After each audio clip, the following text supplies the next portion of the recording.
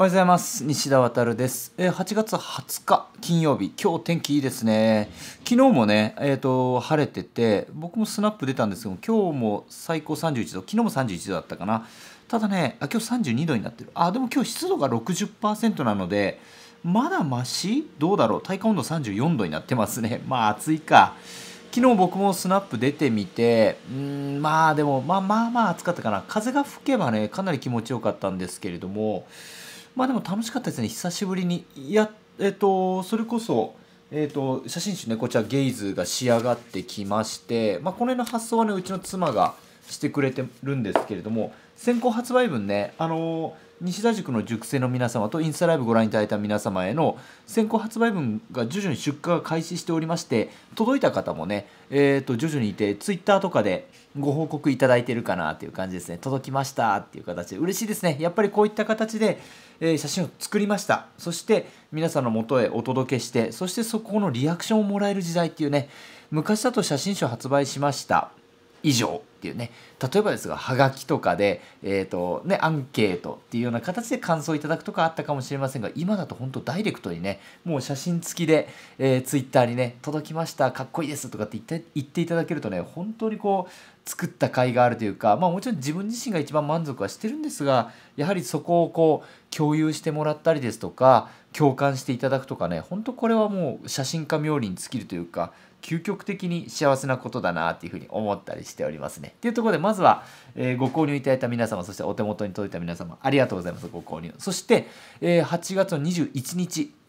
え土曜日ですね8月21日土曜日の夜の9時から、えいよいよねこちらの写真集「ゲイズを」えーと本番発売ということでね発売開始いたしますのでぜひそちらもね明日の21時から発売なのでぜひそこに合わせてお祭りのようにねライブ配信、えーご参加いただけたら嬉しいかなと思っておりますので何卒よろしくお願いいたします。で今日なんですけどもあとねテザーケーブル買い直しました。えっ、と以前はこれテザーツールズ社って言いましてねこういった感じで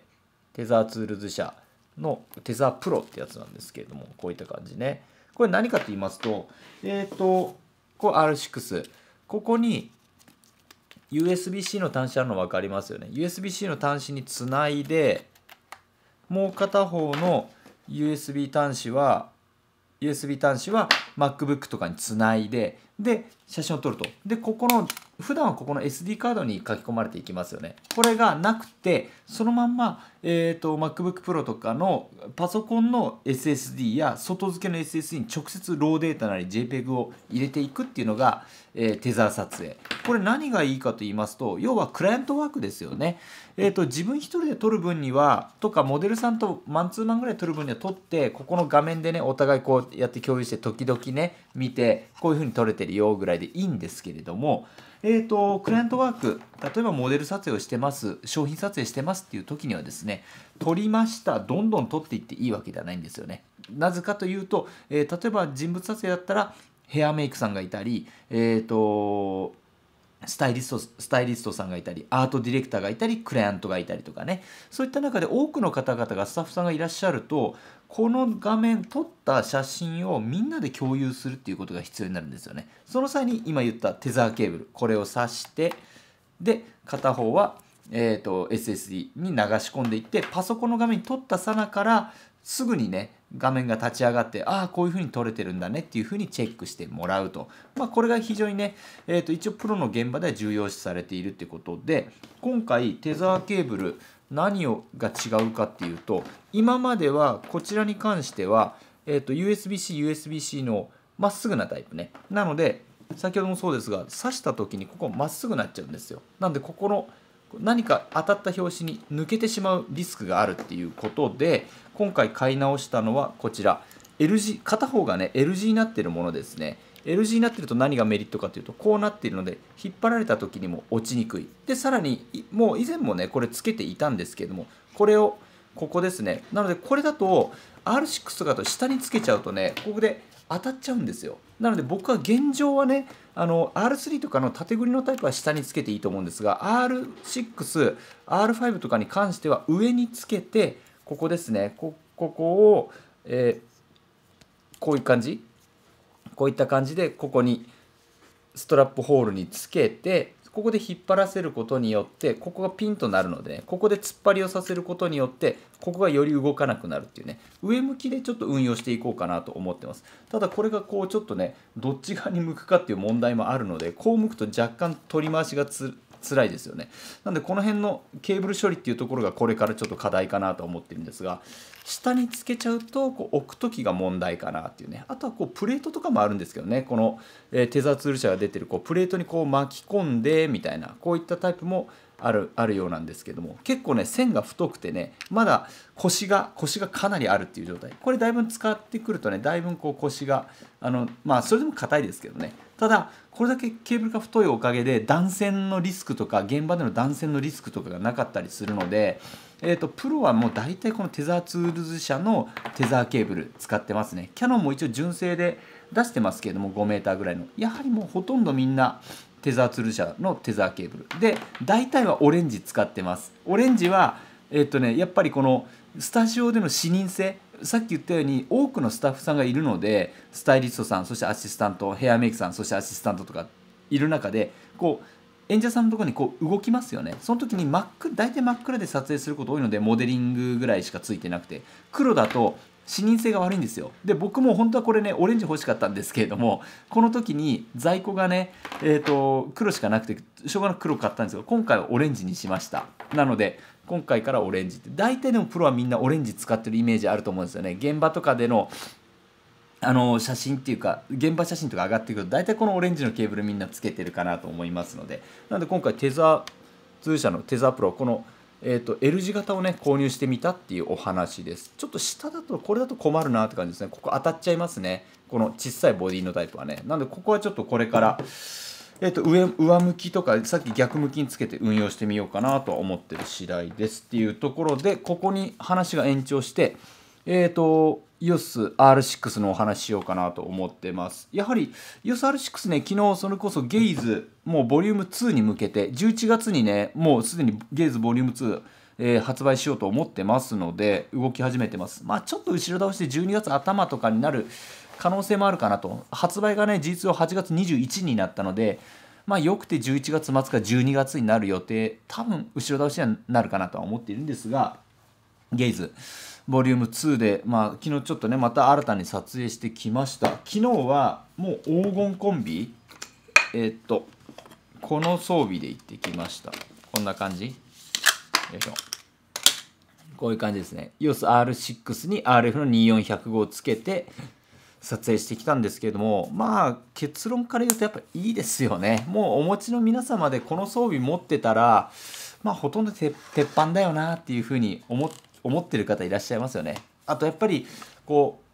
う持ってて街中でこう撮ってても絶妙にいい軽さですよね。本当に。ってつくづく思いました。昨日。680g に 700g ってことでまあ 1.4kg ぐらいか。1.4キロ1.5キロないシステムなのに24105で4.5倍ズームでしょ。で2000万画素ですが本当にこう撮影しててねオートフォーカスの精度だったりやっぱりバリアングルがあるおかげで高い位置から撮ったりとかこう低いところでのローアングル撮影とかも含めたりとかっていうトータルでね本当に自由度が高いなっていう撮りたいものをいかにでも撮れるっていうそして出てくる絵も美しいっていうことで、うん、まあかなりね 日のない感じっていうところですかね。昨日は久しぶりにリアルロケって言いまして、えー、と僕がここ押せばもうムービー撮影スタートするんですよ。あここ撮りたいなと思う前にムービーでここのままムービーですぐに収録して、まあ、マイクここにつけているんですけれどもマイクはえっ、ー、とロードのワイヤレス GO2 をつけてここでね拾っているって感じでこう皆さんに西田塾用です。メンバーシップ用に今からこういう風な感じでいいかなと思って撮りますっていう。自分がなぜその場所をスナップしたかを解説しながら、えー、撮影するっていうことを結構西田塾の動画では出しておりましてまあ好評を博しているんですけれどもえっ、ー、とこれで撮ってきてたって感じですね。今度ねえっ、ー、とモロンノンさんがあれかな？えっと、まだちょっとあの企画段階なんですけども YouTuber というか写真家のモロンノンさんが、えっと、とある方からライカをいただいたっていうことであのインスタじゃないインスタじゃないよ。ツイッターのね抽選みたいな形で選ばれたんですよね。ライカ M, M かな？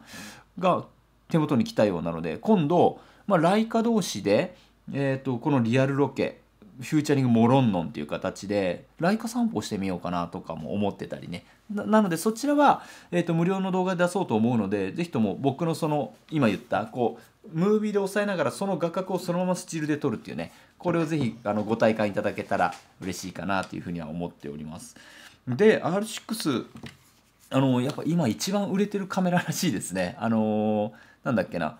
えっ、ー、とマップカメラの売り上げベスト10みたいなやつで1位 R6 が2ヶ月か3ヶ月連続で1位っていう。まあやっぱ皆さんもねご購入された方もね言わずもがなっていうか火の打ちどころないですもんね。2000万画素で、えー、画素数が少ないっておっしゃってる方ももうほとんど聞いたことないですし僕自身も事実上ほぼ問題なし。後ろにね 90×60 センチのあの額装してる写真あるんですけどもあのサイズに出力してこちらの、えーと、カラーブ東京。カラーブ東京も、えーと、出力したんですけども何ら遜色なしっていうねこれとかえっ、ー、とどこだっけな。これか。この写真とかそれこそこれとか ISO8 万で ISO8 万で、えーと、と R6 にこのコンビですよね。R6 に2400の F4 で撮った写真なんですけれども、えこれも 90×60 センチに伸ばして、えー、カラブ東京のあのキャノンギャラリー銀座大阪の個展では展示しましたのでねもう皆さんもう全然これが ISO8 万とは思えないっていうふうにねおっしゃってましたよね。なのでその辺も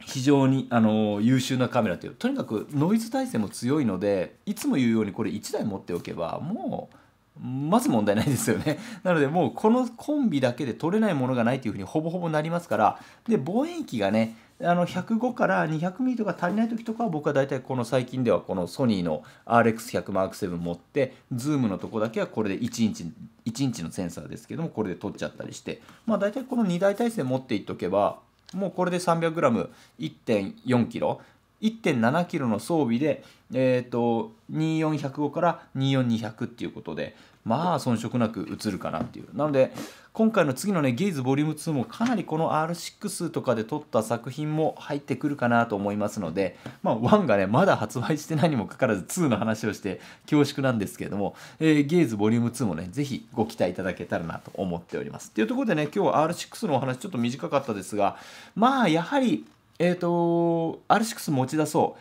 じゃあ今日はスナップするぞっていう風になった時の僕の鉄板装備はこの辺になるかなと思ってます。もう万能装備で、えー、RF の 2400F4 ここれをつけて 1.4km で撮影していけば終日持ち歩いてもねやはり全然疲れない。もう本当に最高の装備かなというふうに思っております。というところでね今日も健やかにお過ごしください。西田あたるでした。どうも。